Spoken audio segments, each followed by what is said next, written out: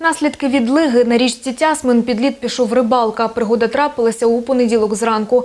До берега 67-річному чоловіку лишалося 100 метрів. Та самотужки вибратись він не міг. Тримаючись за кригу, почав кликати на допомогу. На крик прибігли місцеві.